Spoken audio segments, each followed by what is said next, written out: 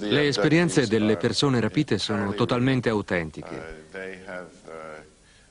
Non ho alcuna ragione per credere, per concludere che sia accaduto qualcosa di diverso da ciò che mi hanno riferito. La mia professione è la psichiatria. Per due anni ho studiato attentamente più di 50 casi, durante centinaia di ore, giungendo alla conclusione che ciò che dicevano era la verità, che si trattava di esperienze reali e che ciò che era loro accaduto in taluni casi aveva creato gravi disturbi, ma in altri era stata un'esperienza illuminante. Vi sono infatti molti casi in cui dopo il prelievo di sostanze organiche un alieno alto piuttosto umano e che sembra dirigere i grigi ha mostrato ai rapiti i pericoli che l'umanità sta correndo. In molti testimoni ciò ha provocato una trasformazione interiore.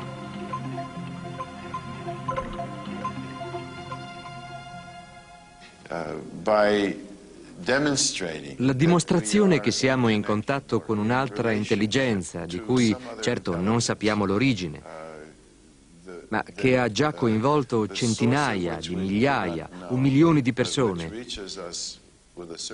Questo fatto ci invita ad aprirci all'universo, ad una maggiore consapevolezza di noi stessi e dell'universo in cui viviamo.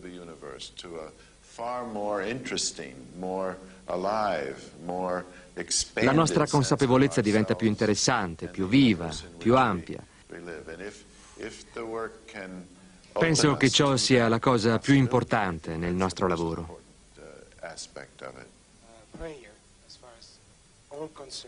Va aggiunto un altro aspetto misterioso del fenomeno quello delle mutilazioni animali studiato da Linda Howe in molti paesi. È infatti un fenomeno diffuso, anche se se ne parla poco. Vi sono migliaia di casi di animali da allevamento e selvatici trovati in zone impervie cui sono stati asportati organi, specialmente quelli riproduttivi, con una tecnica altamente sofisticata.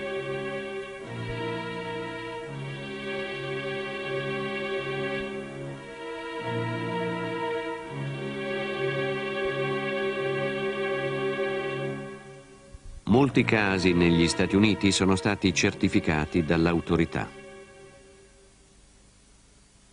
Il motivo per cui questo fenomeno dall'inizio, cioè dagli anni 60, è sembrato così strano era che non c'erano tracce di sangue nelle ferite e non c'era nemmeno sangue per terra. Non c'erano neanche tracce attorno all'animale, nemmeno le sue.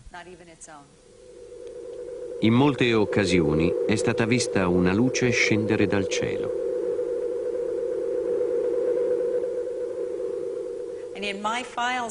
Tra i documenti in mio possesso relativi a centinaia e centinaia di casi da ogni parte del mondo, ho anche i resoconti di testimonianze oculari, di fatti avvenuti in pieno giorno. Vi si legge che sono state viste delle creature non umane trasportare un vitello o una mucca dal pascolo verso uno strano oggetto non identificato. Più tardi fu poi trovato l'animale mutilato sul terreno del pascolo. Oppure l'animale semplicemente è scomparso dalla fattoria. Vi sono anche una mezza dozzina di testimonianze oculari degli Stati Uniti, secondo cui è stato visto un raggio di luce scendere da un oggetto sospeso nel cielo. Il raggio A questo punto giusto il tempo perché i colleghi del telegiornale ci informino sui fatti di questo mondo, dopodiché noi torneremo a interrogarci sui fatti di altri mondi per chiederci ma il fenomeno degli UFO è un fenomeno recente o un fenomeno del quale si trova traccia già nell'antichità? Quello che vedrete vi colpirà, vi faccio un esempio. Ci sono popoli che affermano di provenire dalle stelle, che di per sé potrebbe essere una non notizia, ma come mai Cosa spiega il fatto che i Dogon, una popolazione di antiche tradizioni animiste che vive nelle falaise di Bandiara nel Mali, abbia conosciuto l'esistenza della galassia di Sirio B molto prima di noi uomini tecnologicamente avanzati, la descritta con una tale precisione che i nostri mezzi hanno potuto confermare solo recentemente? Chi gliel'avrà detto?